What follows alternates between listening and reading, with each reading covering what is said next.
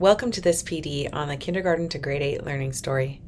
Our learning target for today is that we are learning to use Edsby to communicate evidence of learning using the learning story. Success criteria 1. I can use the class feed or parent group to communicate and engage with families. Success criteria 2. I can use the learning story to share learning evidence. Success criteria 3. I can encourage families to use the Capture app to engage and share learning evidence. In the first success criteria, we will talk about family communication and engagement. For this, you will be using either the class feed or a parent group. Think reminders, sharing pictures of what's happening in your classroom, and helpful information. In the second success criteria, we will delve deeper into the sharing of learning evidence.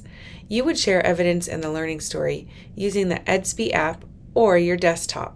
And in the third success criteria, we will talk about how you can engage parents to share learning evidence on behalf of their child using the Edsby Capture app. So remember that there are two Edsby apps. The Edsby app is used by teachers and parents to log into Edsby on their phone or iPad. It is a mobile friendly version of the desktop application. Teachers can use this to take attendance, reply to messages, and more. Parents use this app to enter in absence information, sign up for three way conferences, reply to messages, and see the river of news for the school. The Edsby Capture app is used only for capturing learning evidence for one student at a time. The user must have a QR code to scan, and they then only have access to a camera. There are no other features within this app.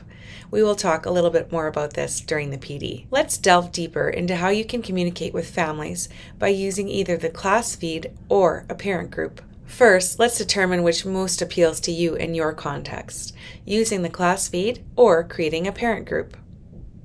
When using the class feed, you can post information, reminders, and messages to families, and you can create posts in advance. You can post learning materials in the library or the content section. You can create events that show up in the calendar for parents. One thing to note about the class feed, however, is that parents cannot interact with your posts. If you choose to create a parent group for communication and engagement, you can also make posts. However, you cannot create posts in advance. You can also create events like in the class feed. The main difference is that parents can interact with your posts and polls, which may be a helpful feature for young students. It's worthwhile to note that families will receive notifications for the class feed or parent group in the same way by clicking on the bell icon. Many teachers are also communicating with parents in Edsby by using broadcast messages. This sends out a message to all your parents at once, but if a parent responds to you, it is in a private message. Watch our video on messaging, which is linked in the Edsby Resource Hub under Communication. Let's now head into the demo environment where I'll show you a group and a class feed. This is my teacher homepage. On the left hand side, I have my classes panel. I am choosing to use my homeroom class as my class communication feed. You can see here up at the top that I can create a note, a journal, which is the feature that allows you to post in advance, an event, or a poll. Keep in mind if you create a poll in the class feed, parents will not be able to interact with it. I have created a few different posts, one just showing what our class is up to, a picture of our students outside, a reminder, and a welcome message. I have a content panel to the left where I can upload helpful materials and a library section over here on the right where I can add additional things for parents and students. Just a reminder that parents are unable to comment or like within the class feed. So, this would be for informational purposes only. Parents would not be able to interact with these posts. Back from my homepage, you can see that I have created a parent group. You can do this easily by clicking on the My Groups and then Create. For more information on creating a group, see our video on groups from the Edsby Resource Hub. Once inside the group, you can see it looks a lot like the class feed. I can create a note, an event, and a poll but not a journal message, which would allow me to make a post in advance. If I create a poll, my parents would be able to respond to that poll. I made a lot of the same posts. Once again, a reminder, a welcome message, and I could post pictures of what we're doing in class here as well. On the right hand side, I also have that library area that will allow me to upload documents for parents and students. In order to get your parents into a group, you first have to create the group. You can then go in and invite your parents from the group, but you would have to enter them in name by name. Instead, there's a really quick way. From your home page, click on My Parents. Use the filters on the left hand side to select the class. Hit the gear icon and select all. Then click the drop down arrow and select Invite to Group.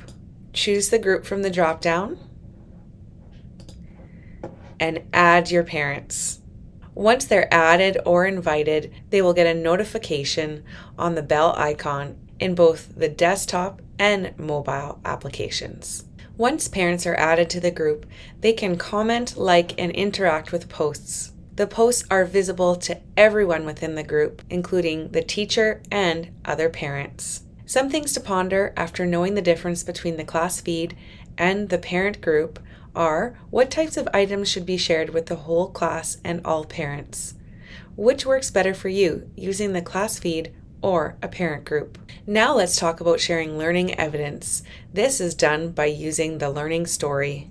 Remember that learning stories should be focused on learning in relation to the outcome or goals. In this year's Edsby goal for all elementary teachers, one to two pieces of quality learning evidence is to be shared with families per term. Intentionality when setting up invitations for your students is key. Using backwards by design, thinking about those I can statements should affect how you craft learning opportunities within your classroom. Before we get into the how around posting learning evidence, let's talk about the tips for quality learning stories.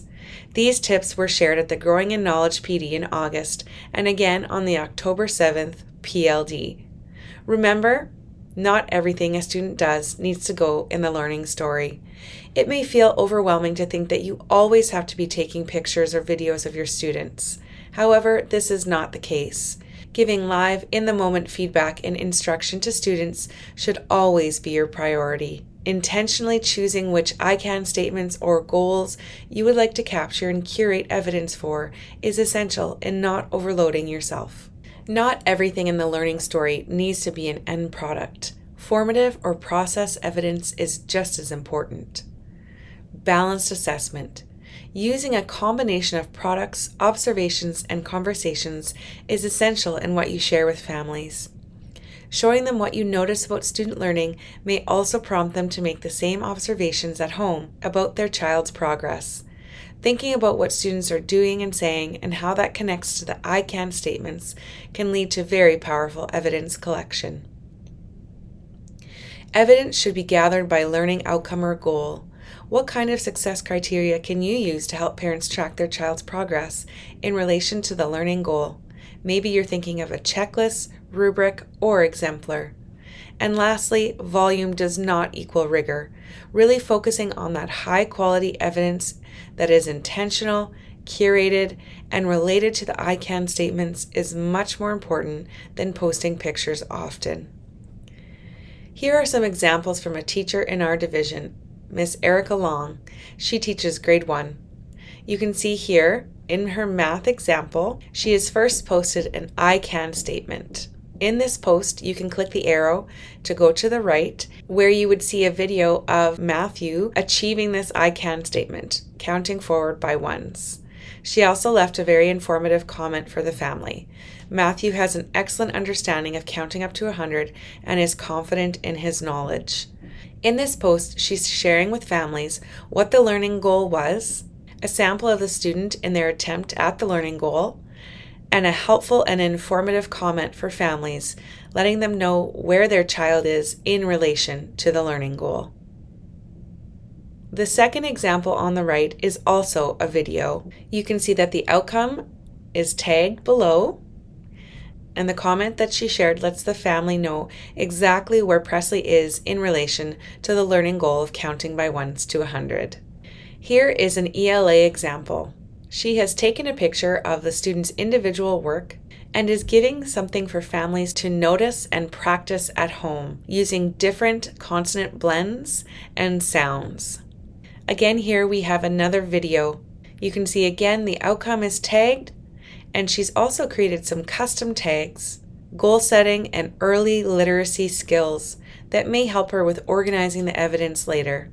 She has left a detailed and informative comment as to where Jake is in relation to the learning goals. She gives some clear next steps for the family to support their student. Now, let's go into the demo environment where I will show you how to create new evidence and how to organize evidence within the learning story. You can see here that there is a new evidence button under all of these classes. You can use this to quickly add new evidence for a student or a group of students.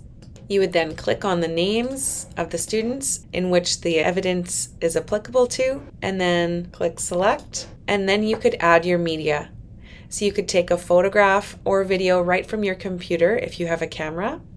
You could take a audio message or upload a file or a link. You could add some student voice capturing what the student said during the activity choose the day which the data was collected, write an observation and leave a comment for your families, create a custom tag. Here you can see there's early literacy skills, reading strategies, work habits, lifelong learner, and engaged citizen. And then you can also tag the outcomes for this class. So if you click on this outcomes picker, it will come up. And really important to note that you would hit this arrow to drop down your outcomes, and then under each of the strands, you will hit the drop down as well and select the outcome that applies. And then you would hit create. If you are ready to share this evidence, you could click share to learning story, and this would share this entry to students and families. Within the mobile app, you can also hit this new evidence button and use your phone's camera to capture learning evidence. From the class homepage, there's also an evidence tab.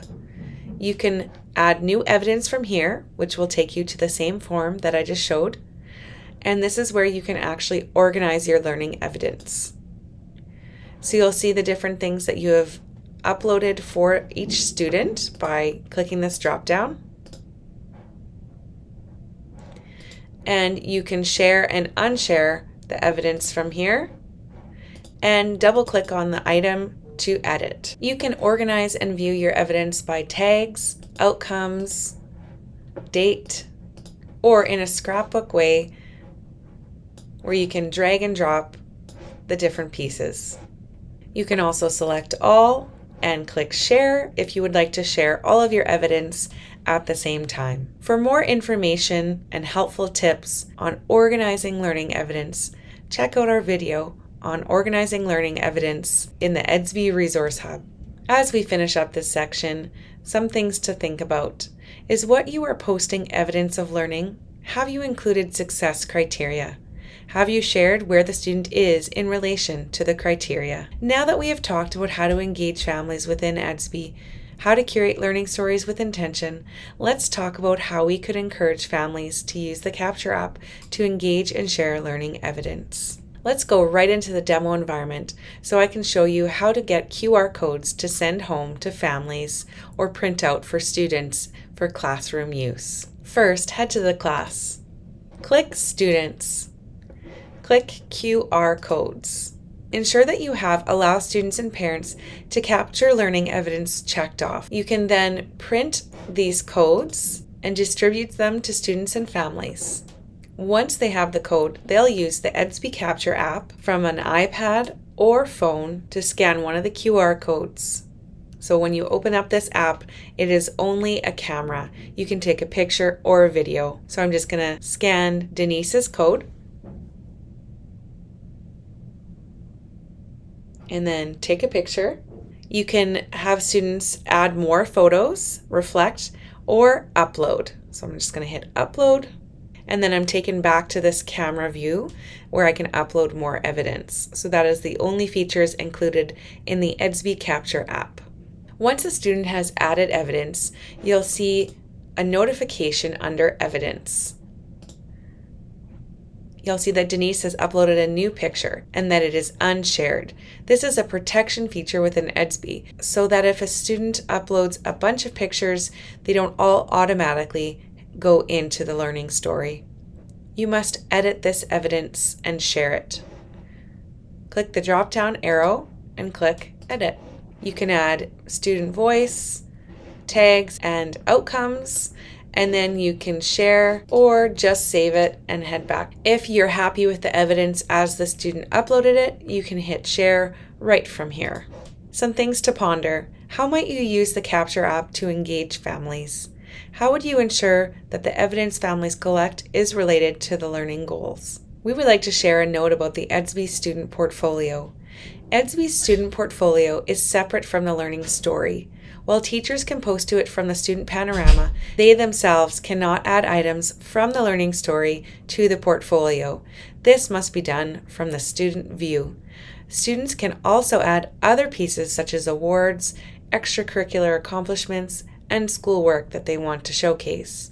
We look forward to seeing how teachers utilize the portfolio as they become more comfortable in the platform, but many will still use a paper portfolio as we are getting our feet wet with Edsby. Today, we learned how to use Edsby to communicate evidence of learning using the learning story. We talked about the class feed and a parent group.